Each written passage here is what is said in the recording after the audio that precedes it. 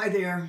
Uh, if you don't know who I am at this point, it worries me. Anyways, here I am back with segment eight of the viruses, and in this section I'm going to talk about uh, the Rhabdoviridae and also Retroviridae. And then in the last segment, I will discuss um, some of the viruses that cause hepatitis. All right, so take a look at your outline. And there's a picture of a rabid dog. That's a bit scary. And also um, a little diagram of uh, the rabies virus. Now, um, this virus is a species in the genus known as Lyssavirus. Um, and these are, in this uh, genus, these viruses are bullet-shaped. They have an envelope. There are spikes on that envelope. And, of course, those spikes aid in the infection process. Now, um, what's interesting about, and let's go ahead and talk about rabies virus specifically. Actually, let me just make one statement before I get into that more specific discussion. There are a number of other viruses in this genus that cause a variety of neurological diseases, such as um, there's one uh, disease called Australian bat disease. It's a rabies-like infection. All right, now uh, rabies virus can infect um, any species of uh, warm-blooded animal. I've read that it can also um, infect, um, uh, let's say, uh, like um, lizards, snakes, reptiles. And I even have read in a few places, but I, I just couldn't find anything to follow up on that, that plants can even serve as a host. Uh, the only significant hosts are going to be warm-blooded animals. Um, all right, now there are three reasons why human cases of rabies are extremely rare in the United States. Um, first one is that as a society, we're pretty good. We sure could be better, but we're pretty good about vaccinating our pets for rabies. That's that's quite important. And um, there are some areas, some uh, let's call them hot spots throughout the United States where the number of cases of rabies in wild populations is higher than average. And so in those areas, what public health officials do is um, they take, um, there is um, an injected form of the rabies vaccine. That's the most effective vaccine, but there's also an oral version of the vaccine. Not as effective as the injected version, uh, but it still, it's better than nothing. So in those areas where uh, we have a higher than usual incidence of rabies in wild populations, what they will do is, is they'll take this oral vaccine, they'll put it on um, a, um, a food that's palatable to a lot of different species of animals, and they'll they'll just you know put that out in um, in the forest. Uh, the animals will come and they'll eat some of this, and this is most definitely not a perfect uh, solution because some animals aren't going to get any and some maybe get more than they need and others maybe not quite enough but it has helped. It's contributed to um, a lessening of the number of uh, cases of human rabies in the united states.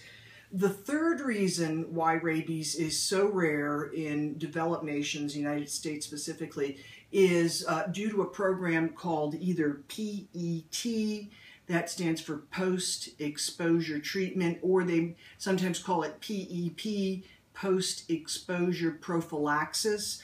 And this is a situation where if a human is even um, possibly, uh, has even possibly been exposed to the virus, they are going to undergo um, a vaccination series for the rabies virus.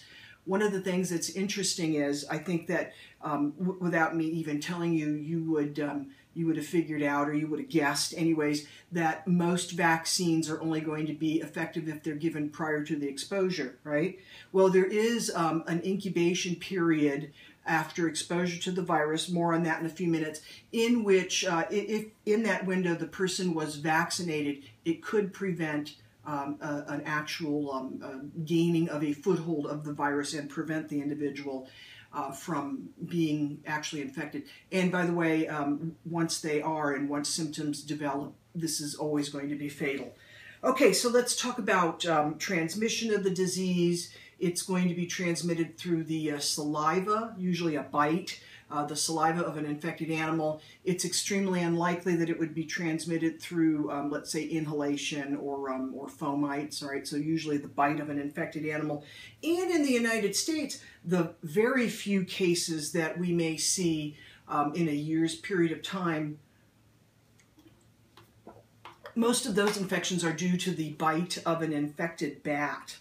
All right, so incubation, uh, it averages 30 to 50 days, but it could be as long as six years.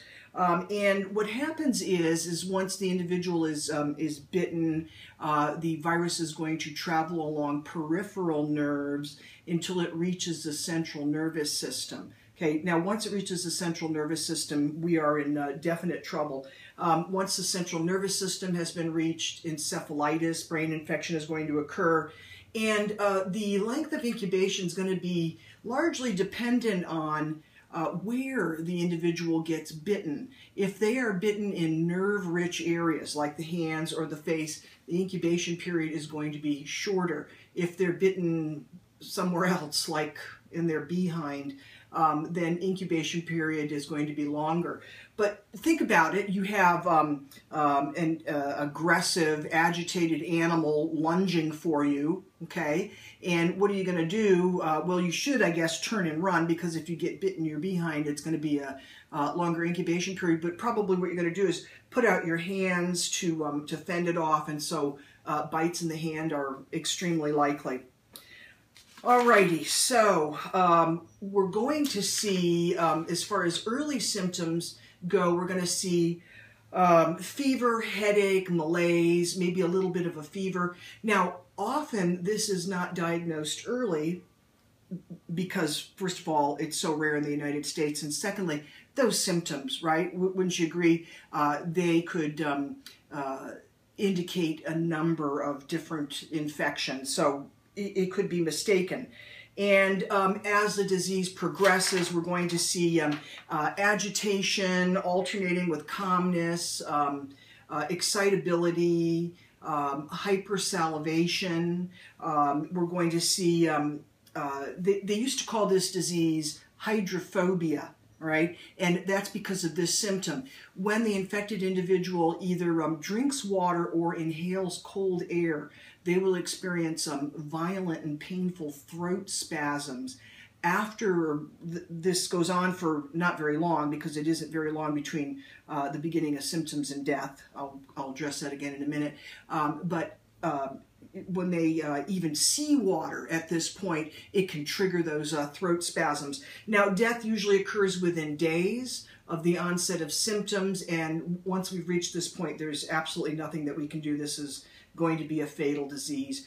Um, there are, um, or I should say, death is due to damage to the brain and other um, cells of the nervous system. Two forms of the disease. Uh, one is called furious rabies, and that's uh, a situation where the infected individual um, is highly excitable and very aggressive, and that's the stuff that they make movies out of, right? Um, uh, Old Yeller and uh, Cujo, uh, to name a couple. Maybe those are the only ones I don't know.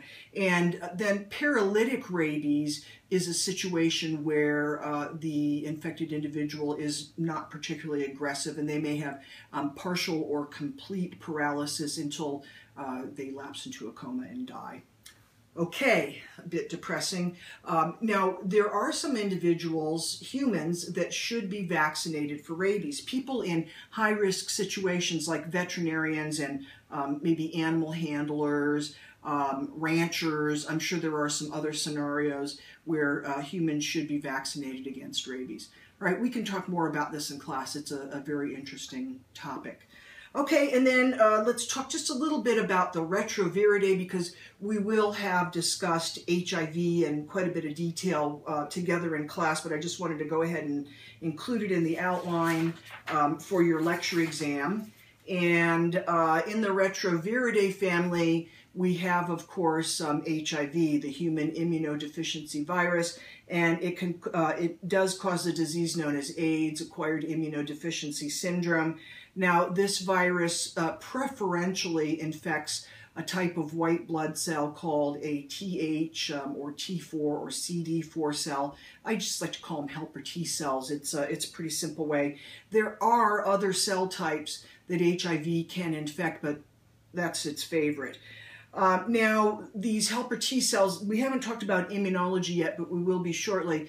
But they play a role in um, the antibody production process. Now, I don't mean to suggest that these T cells themselves actually produce antibodies, but they play, let's say, an assisting role um, in the uh, antibody production process. Uh, one of their jobs, their main job, is called antigen presentation, meaning that these helper T cells actually are going to um, grasp a hold of antigen and deliver it to B cells so the B cells can be stimulated to develop into plasma cells and produce antibody molecules. But what happens is is as the infection progresses, we're going to see a decline in the population of these helper T cells, which will be accompanied by a decline in the patient's immunity and their ability to fight um, what would normally be um, not significant infections, also more susceptible to other cancers. But we've seen many, many changes uh, in the treatment of the disease AIDS these days. And now I'm happy to say, uh, this is 2015 as I record this, that uh, there are cocktails of drugs, drug regimens that an HIV positive individual can take. And if they do so, um, they may be able to live um, out a natural lifespan. So uh, while we don't have a vaccine to prevent uh, infection with HIV and we don't have drugs yet to cure HIV, uh, we do have drugs that allow us to prolong the lifespan of the infected individual and give them a higher quality of life than um, even 10 years ago. All right, uh, some of the opportunistic infections, or I should say one of the opportunistic infections that we uh, commonly see when individuals progress to AIDS is one caused um, by uh, pneumocystis carinii, and it causes a disease known as uh, PCP, pneumocystis carinii pneumonia. We'll talk about that together in class. Uh, let's see, you've got some notes. Um, I'm thinking that we'll talk about those together and um, about treatment and transmission, transplacental um, transmission. So I'm going to save that for a live discussion with you guys. Um, also in this group, just as a, a, kind of a little footnote, are um, uh, the RNA tumor viruses cause a variety of tumors in, um, in animals. All right, I think this is going to be a short segment, but I'm going to go ahead and end here. And when I come back for segment nine, which will be the last one, I seriously hope, uh, that will wrap up the section on the viruses. Thanks for watching, you guys.